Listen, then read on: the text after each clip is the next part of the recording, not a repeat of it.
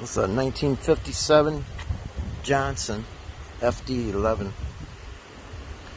I got the uh, Richards Outboard Tools seal puller. Uh, save time in the video. I already took off the mag plate and everything's ready. I got it screwed in and here we go. We're going to pull it.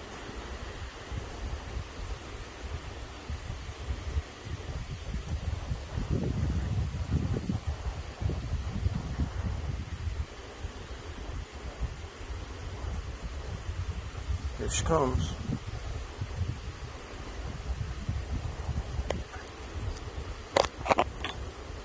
Oh yeah, she was leaking all over. You can see it all over the place. But there it is. Nothing to it. Now I'll get the new seal and put it in.